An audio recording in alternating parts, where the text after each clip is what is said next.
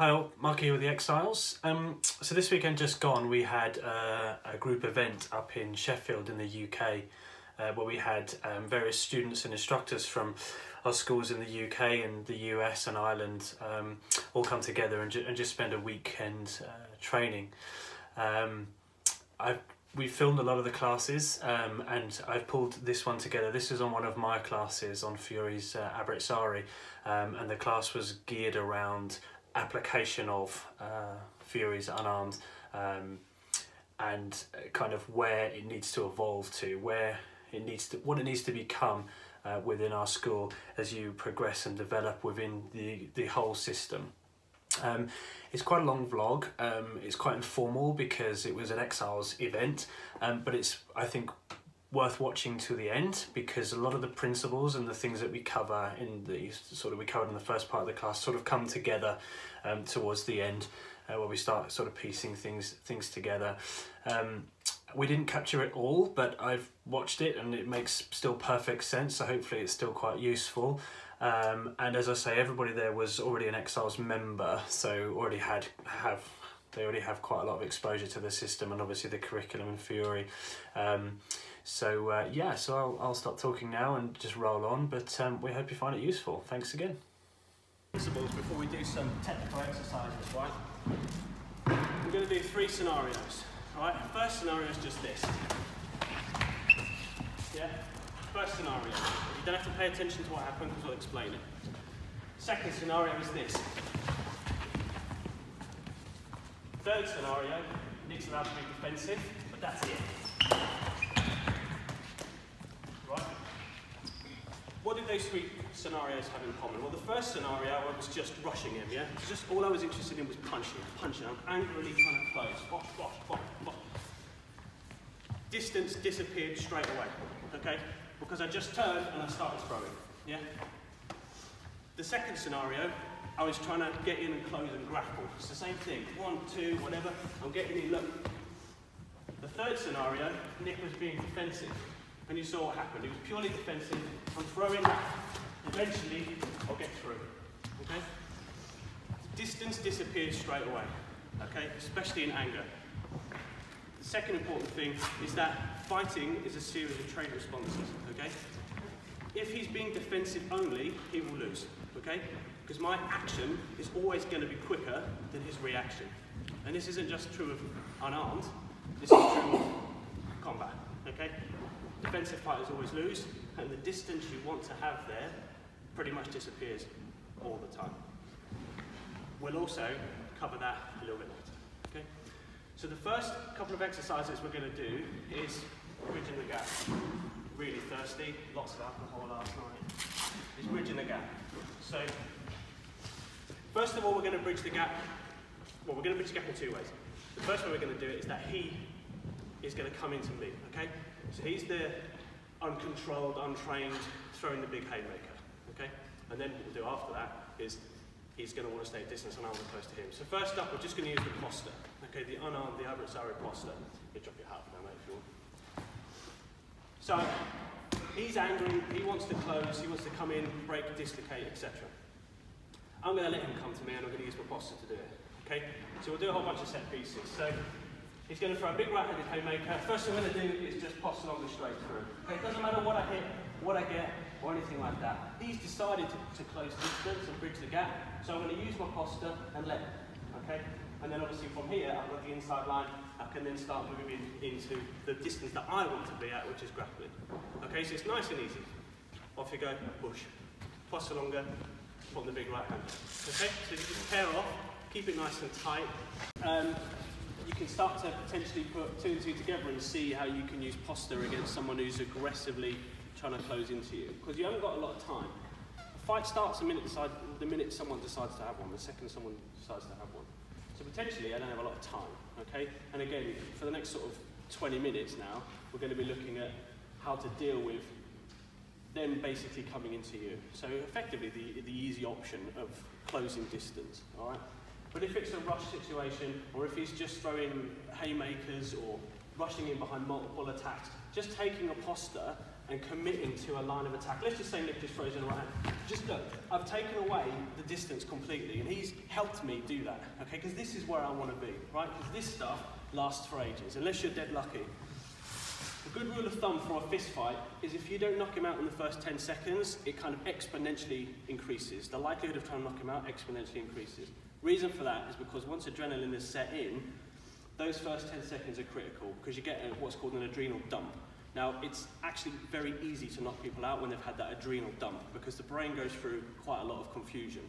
Um, after that, things tend to settle down a bit, and that's why you have these, you know, even pugilists, they can knock 10 bells out of each other for 15, 20 minutes at a time, both trying to punch, punch, punch. They can't get the knockout. So we want to be close, we want to be grappling. Uh, right, now we'll do posta frontale. Again, we're going to sort of start building all this um, stuff up. Posta frontale, okay? You can practice coming in against the arm, coming in against the body. Also, what you can do is practice coming, if it's a more of a straight strike, you can practice coming, coming to the outside as well. If it's a very long lead jab, so you can, you can come in, but all I'm doing is closing lines of attack, all right? What I'm not doing is proper big blocks, if you like. So that right hand, I'm not doing like this yeah? Because it's, I'm going to get twatted, yeah? What I'm doing is closing a line of attack, so push, yeah? I don't care about that anymore because I'm exactly where I need to be to start applying plays, okay? So play around with posta frontale. We'll do this for a couple of minutes. Inside, yeah, if it's a straight strike, outside, whatever. If it's a jab, it's a long one, yeah. Just start playing around with it against the body, against the inside of the arms, the shoulders, etc. Start thinking a little bit about moving offline because we're going to we're going to come back to that. Okay, but stay nice and close. Basic. The, the, the other guy's doing you a favour, right? He's closing, he's bridging the gap for you. As I say, and I tend to repeat myself a lot when something's really important, but you want to be in grappling distance, right? That's where you want to be. So if he's stepping into you, big haymaker or whatever, he's doing you a massive favour. So let's, before we start looking at the more difficult scenarios of when they don't want to close and you do, we'll just do a couple more principle-based stuff and then it starts getting a bit more exciting. So, um, if they don't have to be striking, so they could just be trying to grab you. So we're going to do this as a bit of a bit of an experiment, sort of thought experiment, if you like. If Nick is coming forward to grab me because he wants to grapple, okay, he's still bridging the gap for me, but obviously he's more of a grappling orientated guy, so he's not striking. In principle, I can use just my posture um, completely thoughtlessly. Okay, so what we're going to do is gonna, we're going to set this up. You're going to start in Porta de Ferro, the iron door, and you're going to close your eyes. Okay? What your partner's going to do, and this is just, you know, not that you actually do this in the middle of an actual fight, but I'm going to try and lead this on to something else. Nick is going to say go, and he's going to just grab me. Okay? It doesn't matter how he grabs me. What I'm going to do, with my eyes still closed, is just go to posta frontale. Okay? No matter what happens, no matter what he grabs, doesn't matter. I'm just going to come up to posta frontale. Even if one arm's on the inside and one arm's on the outside, I'm just going to come up to posta frontale, but I'm going to have my eyes closed the whole time, okay? Give it four or five goes, and then, still with your eyes closed, come up to posta frontale and just grab a hold of it, okay? Doesn't have to be anything special, yeah? So you say go, Nick, I'll close my eyes closed. You say go, go, yeah? Whatever you find, grab, push something, yeah? Same thing, my eyes closed, go. Yeah, oh, that's great, yeah? The, the point is, I'm just trying to grab hold of something. I'm not trying to do a technique or anything fancy. I'm just going to get used to just trying to grab something. Okay, and again, we'll build this on. So he's doing me the favour, he's closing to me. Eyes closed the whole way through. Partner says go, they're just going to try and grab at you. Two arms high, one arm, one low, one high, one low.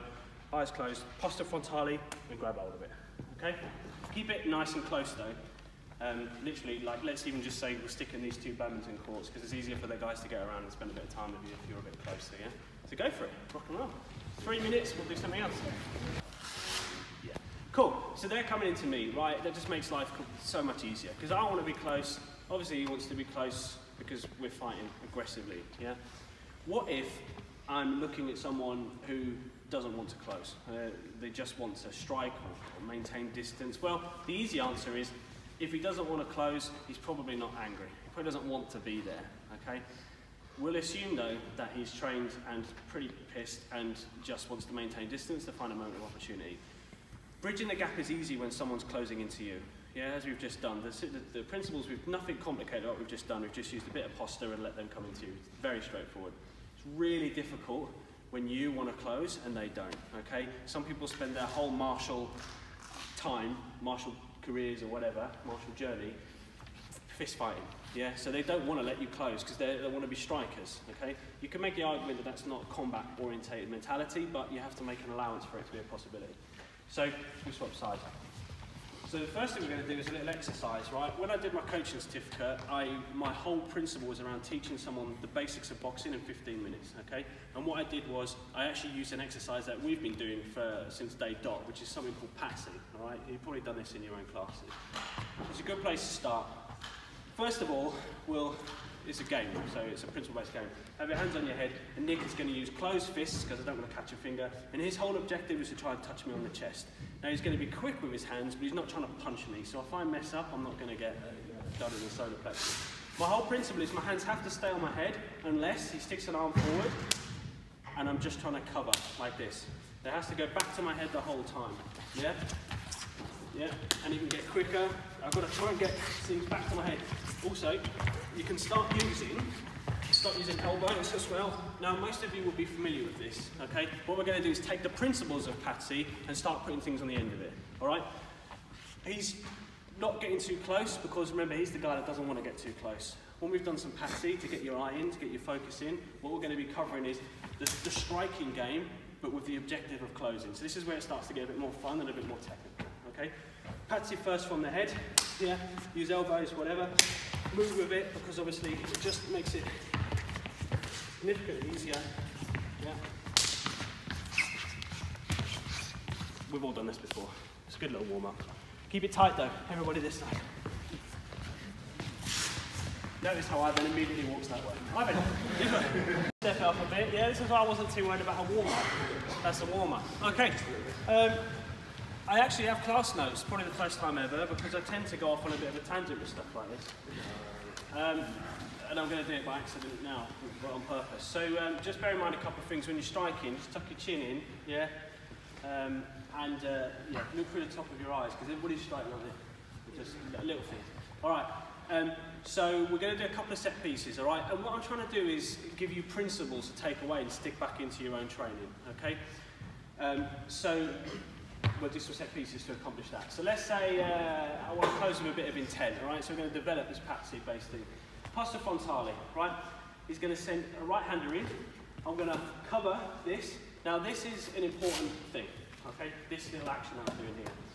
Because his brain doesn't want to break his own hands, it's a biomechanical principle that when your hands feel contact of any kind when they're throwing a punch, the body automatically takes power away from it. Okay, that's a biomechanical fact. So when I'm doing that action, um, one, I am slightly deflecting it. I'm not blocking it, because blocks don't work in this kind of environment.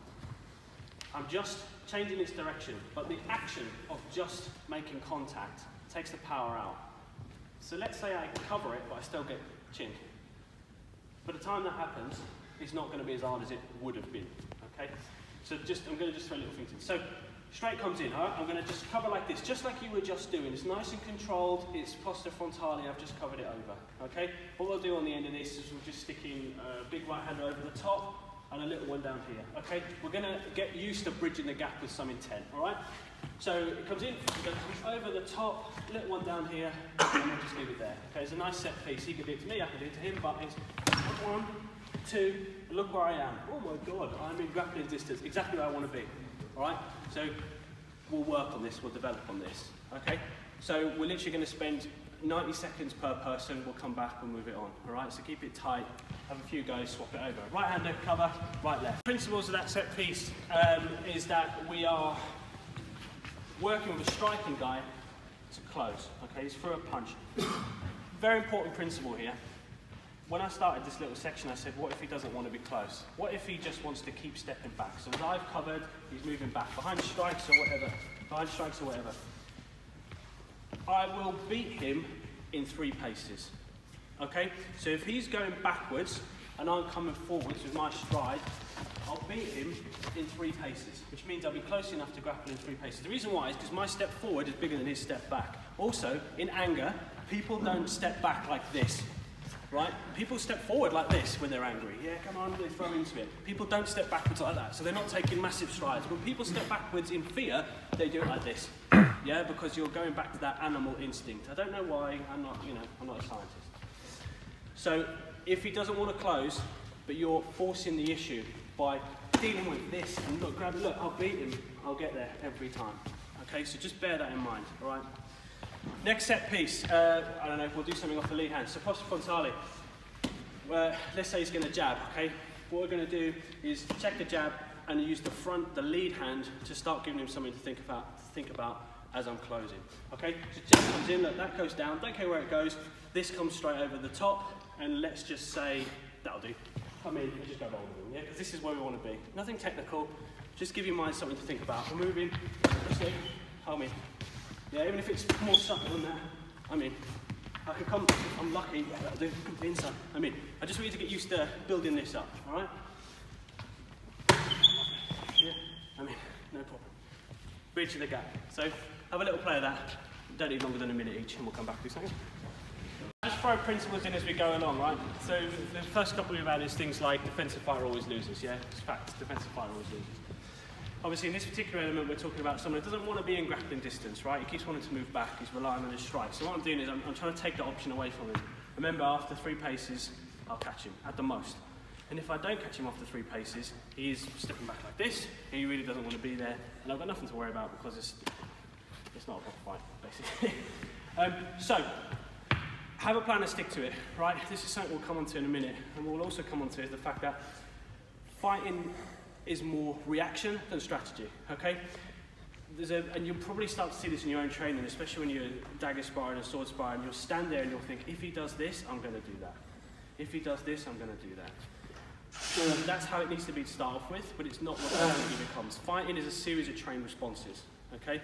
And even if he doesn't want to be in distance, I have to go with my training and my instinct. I've got to try and apply my system and almost be slightly closed-minded about it, yeah? Because I don't have time to make decisions. I'm relying on my training. So a good example is this. If I'm playing Posta Frontale and he just comes in with a really big low strike, I've got to obviously defend against that strike, right?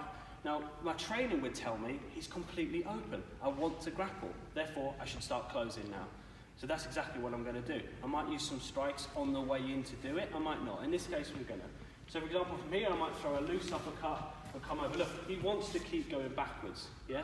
So what I've got to do, because I don't have time to think, oh, he's moving backwards, I need to do something else, is go back to my training, my instinct, and just let my training take over.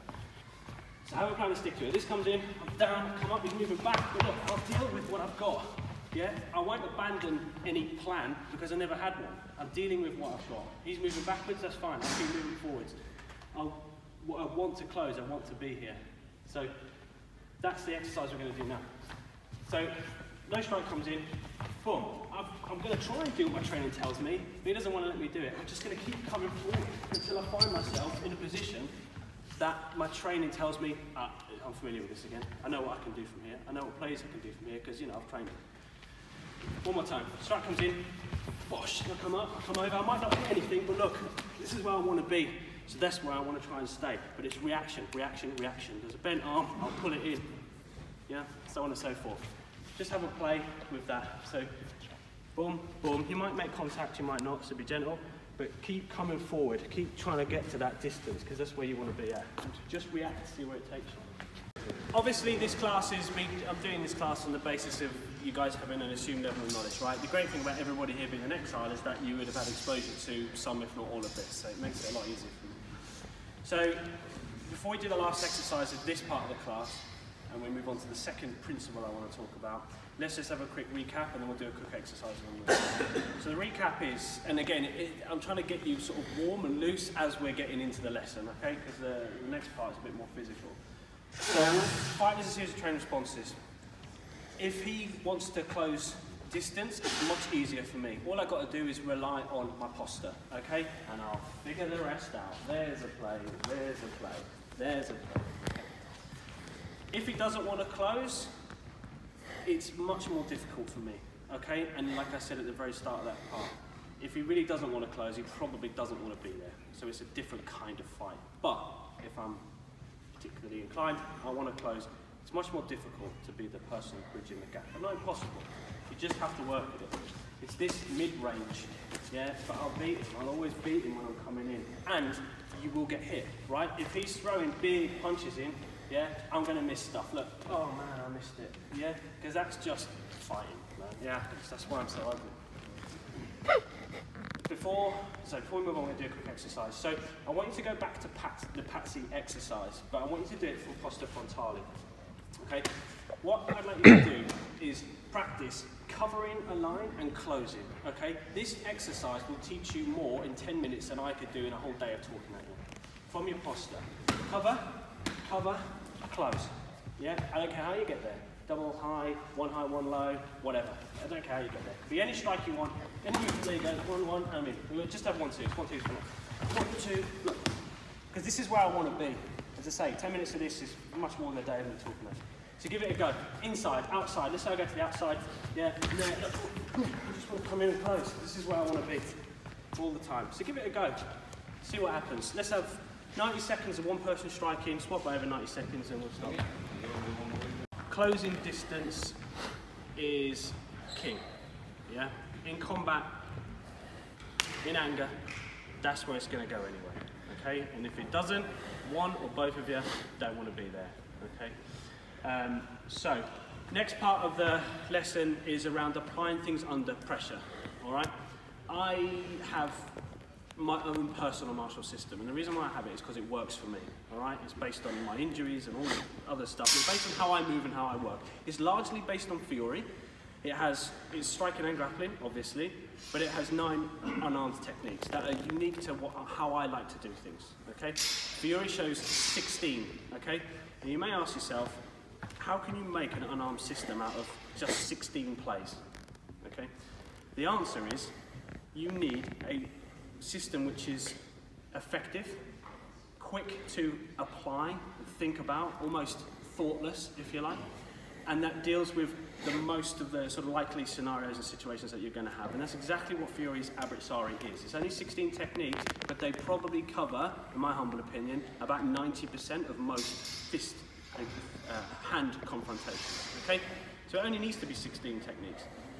The other thing as well is when you start adding in the dagger and the other principles there, especially about you know, things like uh, manipulation, manipulation of the arms and stuff like that, you've actually got a massive unarmed system. Okay? But those 16 uh, techniques will cover at least 90% of all physical confrontations. Okay? Is that a question? Uh, yeah, an utterance. Okay, and that's exactly what we're going to do now. So we're going to understand how to apply things under pressure. Before we do that, again, uh, last sort of seven minutes of a warm-up, just to get your eye in, I just want you to do some upright body-to-body -body wrestling, okay? Get your heart rate up and all the rest of it. One over, one under. Okay, one over, one under. Okay, and I just want you to just move each other around, pull each other around, step through, yeah. Simple as that. When you've done that for about 30 seconds, what I want you to do is one active, one passive. Actually, I'll be active and passive. And I want you to just get used to pulling. So I'm the aggressive guy, he's just being semi-defensive. We're going to get used to pulling, pushing. You know, just see, I just want you to get used to, get your eye back in. Just start pushing, feeling stuff. Yeah, one active, one more passive, okay? A minute or two, I'll call quits and then we'll start doing some techniques. Cool? Obviously, you can learn techniques and stuff back at your home schools, so I try not to do too many techniques, but because I want to build up a set piece, we're going to have to. So, um, all right, we all know the first and second play of Abbracciari, right? So he's trying to reach high and low. I'm stopping, I mean, you've all done this. I'm stopping the control of the hip because this is, for whatever reason, failed. I don't care about this anymore. I don't want him to control my hip because hip and shoulder control is a really bad way to place to be when you're grappling. So I'm stopping this, and then we all know the play, which is to come up and over. Yeah, we all know this. All right? What you to do, and if you don't, just stick a hand up and Nick or me or John or Simon will come and give you some right? So, um, yeah, so shoot on. Right, element number one. What I want you to get used to, this arm's high, so this leg's forward. Uh, I want you to get used to trying to apply the technique and just going through it a couple of times, right? Two three times. Then, he's going to start bending the arm, okay? And you know what happens from here? I can't do that play anymore. So immediately my brain goes, that ain't gonna work. But I've trained this, I know what I'm doing, I know that one option at least is to come forward like with an armbar. So have a go at that, and then we're gonna, I'm gonna show you the principles that are happening here and how you can start applying that across the rest of the plays, okay? Simple as that. Comes in, stop this, yeah, it's bent already, so fuck it. Anyway, yeah, try a couple of straight arms, a couple of bent arms, but get used to that really speedy transition because we're gonna focus on that in a second. Also, manage and control the situation. We're not trying to restrain someone, right? We're thinking, I'm a soldier, I've just jumped over a wall, and as I land on the other side of the wall, there's an enemy soldier right next to me. Think that mentality. Get in, quickly, efficiently, effectively, do the business. That is a combat-based system. Going back to the point I made at the beginning though, it's up to you if you want to make it a sport-based system, like Fiore says it's for anger and for sport, okay? Because all the techniques are the same, you just put them on a bit harder. The approach has to be the same. Because like I said at the beginning, person can't effectively have two different systems in their head. In the heat of the moment, it becomes a hybrid. Yeah, it becomes you. So just bear that in mind. Right. Um, oh, the other thing I wanted to mention, I told you about tangents, is the more time you spend in this environment, this arena, the more your brain is a wonderful tool at taking easy and short options. Yeah, and you'll start to have subtleties that work for you. So when you've played with this sort of stuff quite a lot and someone grabs hold of you, there's things you can do to improve your success rate. Okay, like I know that for me, and this is just purely for me, I'll do the technique exactly as Fiore prescribes, but I always, for some reason, add in a little tiny gather as I'm doing this action. I don't know why, it just works for me. Okay, he doesn't say to do it, it's almost inconsequential, but it works for me. So I know if we're fighting or grappling or whatever, and it just comes in, bosh, I know that if I make another little step, it just works for me. And I'll generally improve my success rate. So there's little things like that that you just pick up over time. And because you're pressure testing, you'll find your own little options and answers and ways of doing stuff. Understand? Next element before we do a, a couple of uh, more set pieces is I just want to have a third option, if you like, from that high-low grab. So let's say he comes in high-low, and let's say that I've completely missed this arm, okay?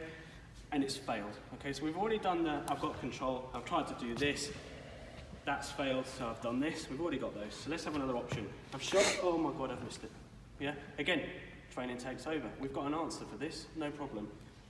This arm is low, so that's where I'm going to go this way. I'm going to come around, secure onto the belt, come over the top. Oh yeah, or I can come underneath, doesn't matter. It's a very key principle. I can push it straight back, or I can push it this way, exactly like Fiore tells us to do.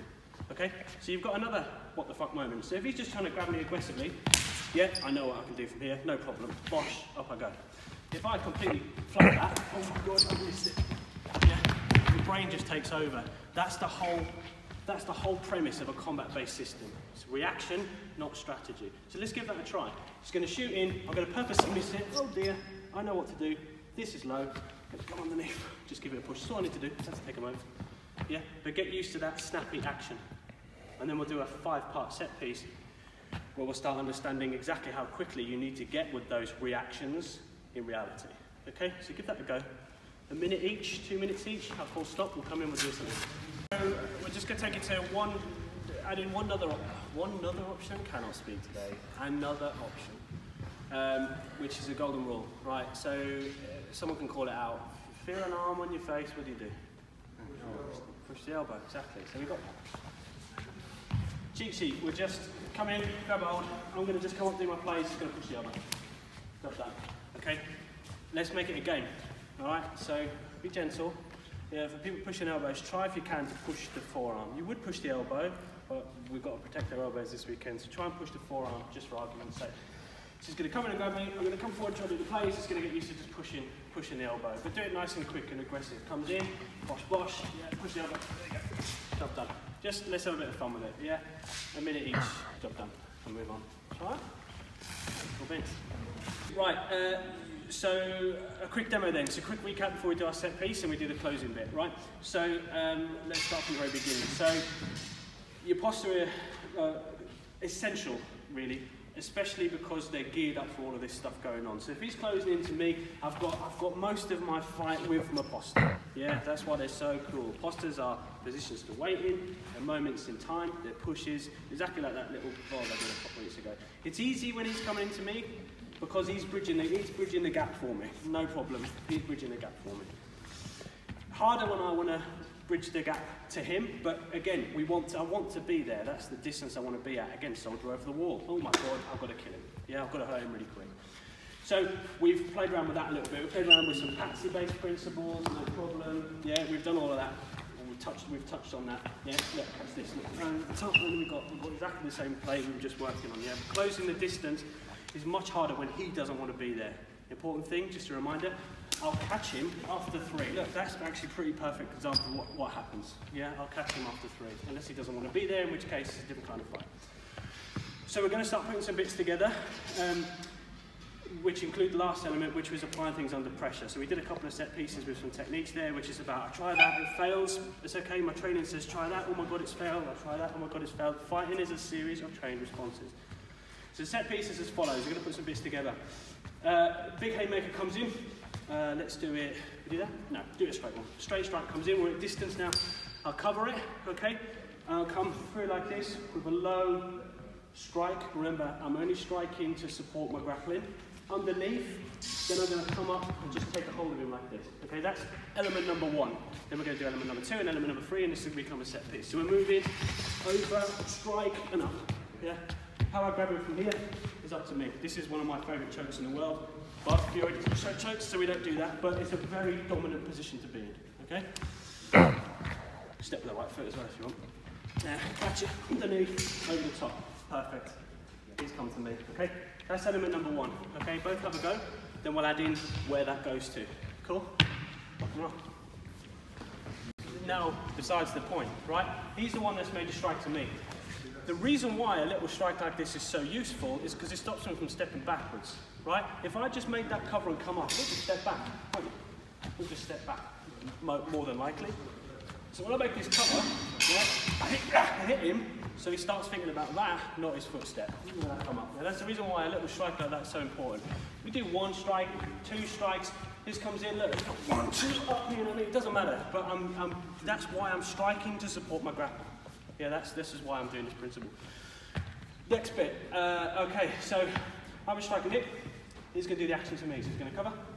Yeah, underneath he comes, he's going to come up with his, with his holding his choke. What I'm going to do from here is, again, back to training. I am going to step back, but obviously it's now the hold is on, so it's a different kind of step back. I'm going to try and leverage this down, okay? That's all I want you to do for now, is just take it to this position, all right? So, I'll make the strike, bosh, it comes underneath. I'm going to come up and over. Got to work for it, it's not easy, and this is the position that you're in. Yeah, it's not choke, can be, but combat mentality says it's not a choke, it's more of a neck wrench. This is all I want you to do for now, okay? And then he'll have an action to do in a minute. And what we'll do is when we put it all together and do it quickly, you'll get a sense of how this stuff needs to start looking in terms of speed and application. That's what I'm trying to do with this, okay? Need to see it again or we're good? All right. Hi, Gav. You're early, mate. Love it It's late for us. Be late for your own funeral, man. In about a minute, if don't get dressed. All right, cool. Uh, what's that piece we're doing? Throw it in again. What was we doing? We was doing. Oh yeah, we're doing that. Cool. And then you were begging me that. Yeah. Cool, cool, cool. Right. Obviously, he's got to be quite quick with that. Okay, because I'm not going to just put the hold on and wait. Okay, because that's a throw, that's a choke, it's whatever I want it to be. Right. He doesn't get to dictate that because he's the good guy and the bad guy. He's a Fiore. I'm not. So that could be whatever he wants. So he has to be dead fast when he does that. Strike comes in, bosh, as I say, one strike just to support my grapple. Up I come, he's got to go, start moving on that bad boy straight away. Okay? Now, I'm back to good guy again. So, and this is where it starts getting a bit funky and interesting. So, strike comes in, cover, strike, there's my hold. He starts putting this on me, I'll stop it, and I'll come out this way. Okay? So one play becomes an accessible option from a completely different, completely random position. All right? Fiore doesn't tell us about that bit. Doesn't matter. It's the same play, same principle. It's my own training that said, I'm on the outside, I've got my left foot forward. Yeah, I can do this. That's what my training tells me, all right? So, strike, strike, up. He puts that one, that's okay, I'm here. I'm up, and over. No problem at all. And it's, it's all right, that, that'll work, no problem. If his arm bends, because he's quick, okay, I've got other options. I've got, you know, different plays. So fighting is a series of trained responses.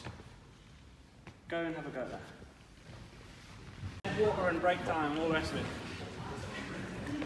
Okay, that's just, again, one set piece. I think I've, yeah, it's all good.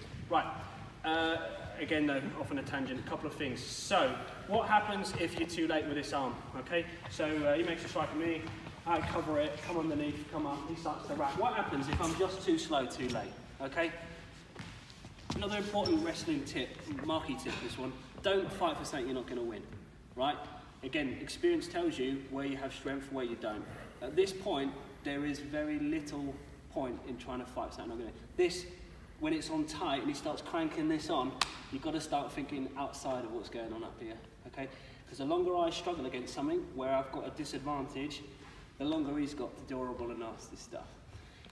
Exactly. So if I'm too slow with that, set up again. Coming under Bosch, there's this, he starts to roll ahead. If I am too slow and he's got that on, I've got to start thinking about other things. There's a hand high up here, okay. There's a hip belt there, okay. He's probably going to try and straighten me up with this one. That's fine. No problem, I've got to play for that. You understand? Fighting series of train responses. No problem at all. The other question I had, this was a good question, is uh, the person that's coming back out onto the, uh, so we do thing again, I'll, I'll stop and I'll explain. Bosch, Bosch, coming up, he does the wrap, and I've got my arm here, because this is a pretty, this is a pretty common thing with, with, with wrestling people is, if he's trying to choke me, okay, that's all I need to weather the storm. He can't choke me if I've got something in between his arm and my neck. He can hurt my neck and throw me over, he can't choke me from here. In fact, I spent a whole year just basically using a finger to stop people choking me. All I need is something in the way. Anyway, people were saying, what happens if I catch this? So let go, Nick. If I've been quick enough and I catch this, and where do I end up out? So some people are ending up right up here. That's okay. I'm not being strangled. No problem. From here, there's loads of different options. The easiest one to access, well, there's a face, there's a knee. No problem, whatever. Yeah? Some of you were doing the disengagement and ending up up here. That's okay too. I've got arms, I've got dagger plays, you know what I mean? It's one system, no problem. So again, that has more of an evolution, evolution, evolution. Is there any questions before I summarise and close up? Wicked. Cool bits. So, lots of principles there. I tried to not do too much just techniques because you can do that back in your own schools. Where this stuff develops to is it being reactive not strategic. An element of strategy, of course. It's reactive. Say it for like the tenth time. Fighting is a series of train responses. Okay? Think about combat mentality. Okay? The difference with this system, or systems like it, is that you're looking at soldier to soldier more than you are security guy versus tow rag. Okay? It's that kind of mentality. But where the sporting aspect comes in is that you make the choice. Okay? When I'm doing this play, or whatever, I make the choice, right? I can break his arm or I can just throw him over. I make the choice. It's the same technique. Therefore, my brain has less options. Just do the technique you know you can do. That's failed. Do something else. That's failed. Do something else. All for my training.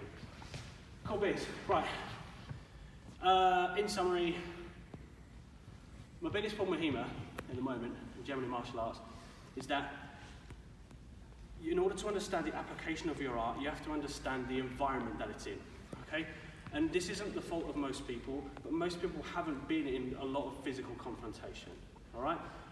Some of us have, and it's great, because you get to apply it back to your art and learn from it. People think you have time to be strategic, and this isn't just with unarmed, okay? This is with sword and stuff too. They think that you have time to be strategic. Oh, we've met Ingrid I'm going to decide what to do. That's not how this works, okay? I've met in Cruzada, and because I know it's next to Spada, I know I can do this technique, or I know I can do that technique. And because I've met on the punter, I know, oh, his points online, I should be doing that. Your brain needs to react to it. You don't have time, especially in the heat of the moment. I'm not talking about sparring, I'm talking about when it matters, with sharps, with no padding, no protection, yeah? It's reaction over strategy, and that's the problem with HEMA. is that people, again, for no fault of their own, they don't understand the, the psychological effects of confrontation, adrenaline, fear, frenzied attacks. You know what I mean? And obviously, we can apply some of what we know today to the same mentality of 600 years ago. A punch up is the same now as it was then. Yeah? Obviously, we can't run around the streets understanding what it's like to fight with a sharp sword. Although there is a group that do that, I saw that.